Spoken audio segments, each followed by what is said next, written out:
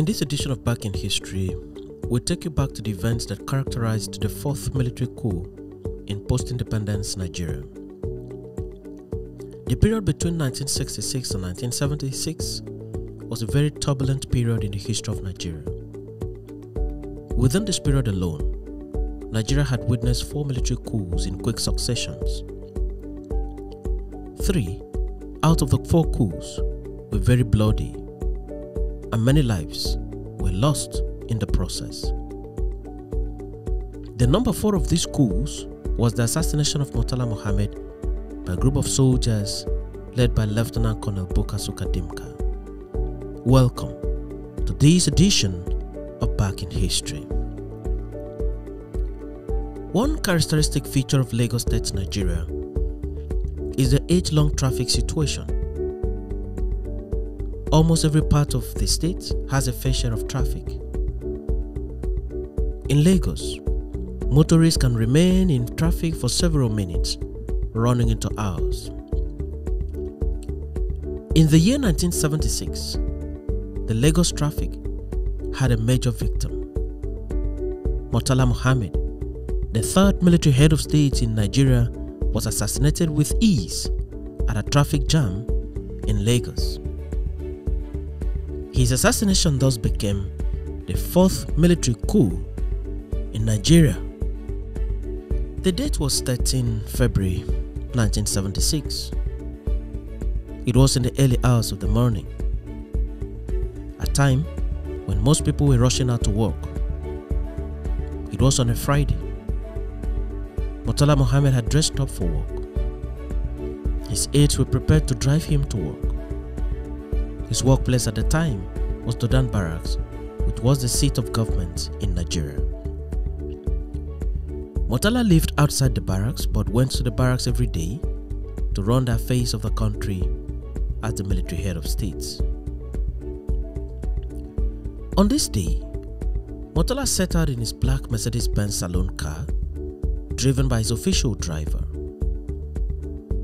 He drove through George Street, and on approaching the Federal Secretariat in Ikoyi, there was a traffic jam, and Murtala's vehicle waited to observe the traffic. Murtala did not know that he was not going to be alive beyond the traffic point. Some armed soldiers, led by Lieutenant Colonel Buka Suka Dimka, had positioned themselves at a petrol station in the opposite direction. They were dressed in long flowing babariga and their weapons were hidden in the babariga.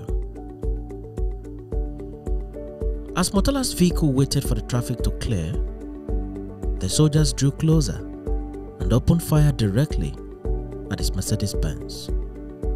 The shooting was sporadic, hot, deadly, and right on target. The occupants had no chances of survival. Murtala Muhammad was killed on the spot.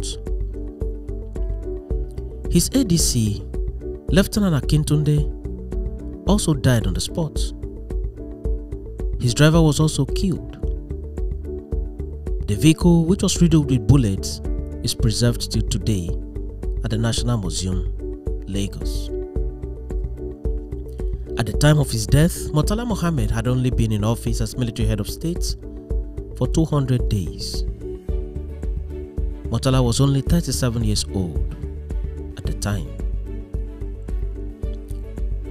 Aside the traffic situation, the other thing that made it very easy for Murtala to be killed was the fact that he was the head of state who used to travel without military backup or escort. It is reported that at the time of his assassination, the only visible sign of protection was a pistol carried by his orderly, thus making his assassination seamless and without resistance whatsoever. Having been confirmed dead, Murtala was flown on board Nigerian Airways from Lagos to Kano, where he was buried in accordance with Islamic rites. Christian memorial service was also held in his honor in Lagos State, with his deputy Olusegun Obasanjo in attendance. But Murtala Muhammad was never to be seen again, having been cut short at the age of 37. His ADC, Lieutenant Akintunde, was also buried after a church service was conducted in his honor. Lieutenant Colonel Buka Suka Dimka, the mastermind of Murtala's assassination, could not take over the reins of power. His coup thus went down in history as an unsuccessful coup. A couple of things worked against Dimka. Immediately after the assassination of Murtala Muhammad, Dimka was at Radio Nigeria, making a national broadcast. In his words, unquote, Good morning, fellow Nigerians. This is Lieutenant Colonel B. Dimka of the Nigerian Army calling. I bring you good tidings. Murtala Mohammed's deficiency has been detected. His government is now overthrown by the young revolutionaries. All the 19 military governors have no powers over the states they now govern. The state affairs will be run by military brigade commanders until further notice. All commissioners are sacked, except for the armed forces and the police commissioners will be redeployed. All senior military officers should remain calm in their respective spots. No divisional commander will issue orders or instructions until further notice. Any attempts to foil these plans from any quarters will be met with death. You are warned. It is all over the 19 states. All borders A and C are closed until further notice. Curfew is imposed from 6 a.m. to 6 p.m. Thank you. We are all together. It is also reported that Dimka had made a quick trip to the British High Commission where he met with the British High Commissioner Sir Martin Le Quesne and told him to get in contact with Yakubu Gowon, who at the time was in London, having earlier been removed from office as military head of state by Murtala Muhammad, and tell him to proceed to Togo and await further instruction. The High Commissioner declined his request. It was thus not clear whether Dimka executed the coup to enable him succeed Murtala as head of state, or to enable him pave way for General Yakubu Gowon to return to Nigeria and continue in office as head of state. Dimka's coup was largely characterized by confusion and lack of coordination. While Dimka was at Radio Nigeria running the national broadcast, serious efforts were being made by the military to crush Dimka's coup. There was a counter broadcast from Benin City by the then brigade commander, Colonel Isabuka, disassociating other army units from the coup. There was another broadcast from Kaduna and another one from Calabar by the then brigade commander, Colonel Mamman Vatsa. University students from Lagos and Ibadan also took to the streets to protest the coup. While Dimka was still at Radio Nigeria running the broadcast, efforts were made by top military officers in Lagos and other parts of the country to frustrate Dimka's coup. Ibrahim Babangida, who was a colonel at the time, was detailed to lead troops to the radio station and stop the broadcast. This assignment was a dangerous one and had all the potentials to terminate Ibrahim Babangida's life. Babangida breathed up and decided to go to the radio station unarmed and have a conversation with Dimka, whom he has described severally as his friend. Perhaps as a precautionary measure, Babangida ensured, albeit remotely, that the radio station was surrounded with armored tanks manned by soldiers under his command.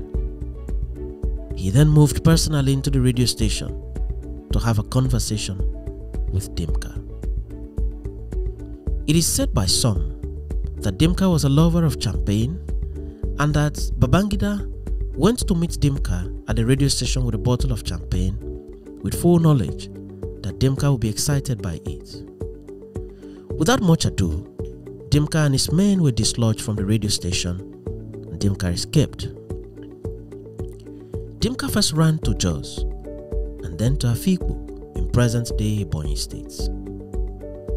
Radio announcements were made every 15 minutes calling on anyone who sees Dimka to immediately report him to the nearest police station or army post. Dimka was a smart man and was able to beat the roadblocks without being noticed.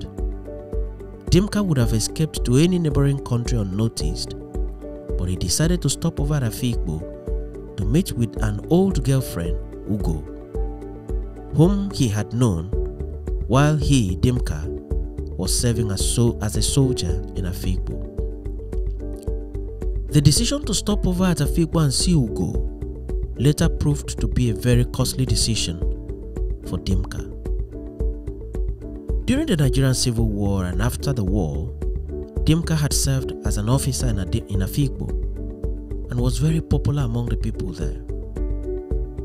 He was not someone that could hide in Afikpo, even at night. He was a jolly good fellow among the locals. He had a lot of friends, and so it was easy for people to identify him. Dimka was seen strolling near the Afikpo Mosque and later seen checking into Friendship Hotel Afikpo. He checked in with a fictitious name. He later sent for Ugo, who came to the hotel to spend the night with him. The first room he checked into had burglary proof, but Dimka insisted that the room be changed for him. He got a room that had no burglary proof. This was done with a reason. The unprotected window would later serve as his escape route. While there, information got to the army and the hotel was surrounded at night. But the soldiers only concentrated in the front of the hotel. The soldiers began checking the hotel room by room, and when they tapped on a nearby door, Dimka told his girlfriend Ugo to go and open the door for them while he, Dimka, escaped through the toilet window and ran away. He went through farmlands and then entered a vehicle across the road to Abakaliki. Every three kilometers on the road had a roadblock, but the soldiers could not recognize Dimka. Dimka kept going unnoticed. At a point on the journey, Dimka voluntarily handed over himself to a police sergeant at a checkpoint. He told him, unquote, I am Dimka, the man you have been looking for. He brought out his hands and was immediately handcuffed by the policeman, who then took him away and handed him over to the military. The name of the police sergeant that arrested Dimka was Sergeant Abdullahi Jika Iya. He was an instant celebrity at the time upon the announcement of his capture of Dimka, was the most wanted man in Nigeria. Before the capture, there was a promise by the Nigerian government that anyone who was able to capture Dimka or is able to lead the security agents to his hideout will be handsomely rewarded. The story has it that the handsome reward which was promised had never been given to Sergeant Abdullahi up to the time of his death in 2002. Abdullahi left behind a wife, Aisha Jika Iya, a primary school teacher, and two children. Dimka was detained and later tried by a military tribunal set up by the then military government. The tribunal was headed by Major General Obada of Delta State. Obada had once served as ADC to Nigeria's first president, Dr. Nnamdi Azikiwe. The tribunal had a mandate to try the coup plotters to establish the extent of their culpability in the coup. In an interview granted to Vanguard newspaper on July 3, 2010, Major General Obada noted, and I quote, I was appointed as president to the tribunal that tried the coup plotters. I had no choice, but I was fair. My job was to preside over the trial and ensure that whoever was guilty was committed to prison. So, we did the trial and committed the offenders to punishment. Unquote. To the surprise of many, Dimka did not deny his involvement in the coup throughout the sitting of the tribunal. When a recorded message in connection with the coup was played to him at the tribunal, Dimka boldly admitted that the voice on the tape was his own. He added, unquote, Of course, being a soldier, I made it a point of duty that I have an honor to maintain, and I believe that I have no reason at this stage to lie. So, all what you've heard has been my recording, my personal recording. On 15 May 1976, Dimka was found guilty and was publicly executed by firing squad at the Kirikiri Maximum Security Prison in Lagos. It is stated that even after being tied to the stake for execution, Dimka requested that the younger officer who was stationed to shoot him should first give him a salute and compliment as a senior military officer. This brought to an end the military career and life of Colonel Buka Suka Dimka, one of the earliest foreign trained military officers in Nigeria. He attended the Australian Officer Cadet School, Portsea, where he trained and was commissioned in 1963 as a second lieutenant for the Nigerian Army. His execution was announced by Murtala Mohammed Olusegun Obasanjo. Others were also arrested and tried for the coup. Many of them were sentenced to death by firing squad, while others were given various sentences depending on their levels of involvement in the coup. Convicted persons were executed in two batches. While some were executed on March 11, 1976, others like Dimka was executed on May 17, 1976. Those executed with Dimka on the said date were Colonel I. Booker, Lieutenant S. Kwale, Warrant Officer Bawa, Major J.K. Afolabi, H. Sheyin, and Joseph Gomwalk. Joseph Gomwalk was a police officer and he was the first military governor of Benue Plateau State during Gowon's administration. He was implicated in Dimka's coup and was executed by firing squad.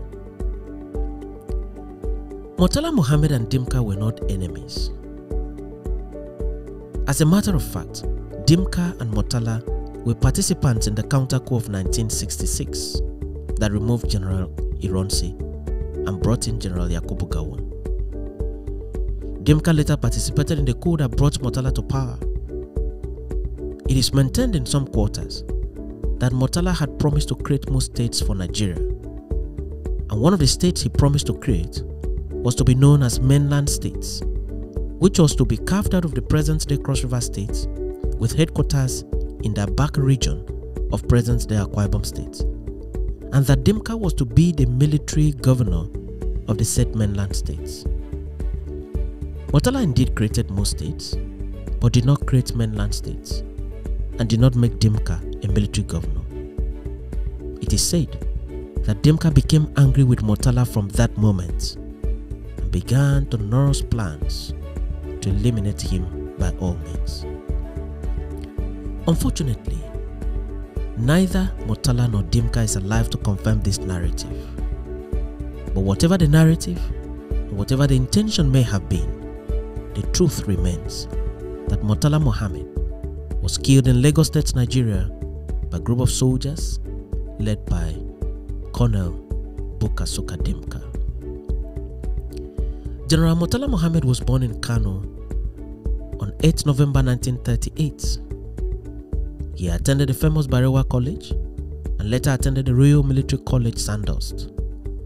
He served in Congo and in many other places. At the age of 33 in 1971, he was already a brigadier general, becoming one of the youngest generals in the history of the Nigerian army. He was the brain behind the relocation of the Federal Capital Territory of Nigeria from Lagos to Abuja. He was married to Yoruba woman, Ajoke Mohammed, and the marriage was blessed with six children.